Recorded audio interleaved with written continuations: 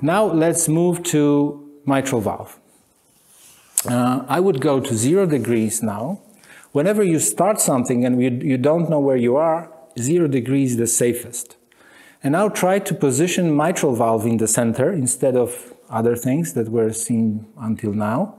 So okay. we have to do the anteflex? No, no. You just have to rotate the probe to make it uh, visible in the center, so right oh. here, okay? Now, here it is important moment because as you can see, the plane is now horizontal, but the axis of the left ventricle and left atrium is not horizontal, it's going down. Mm -hmm. So retroflexing. So we have to do retroflexing. And I must admit that during this manipulation, it may happen that the image will disappear because you are uh, moving the probe away from the mucosa of the esophagus and you may lose the image.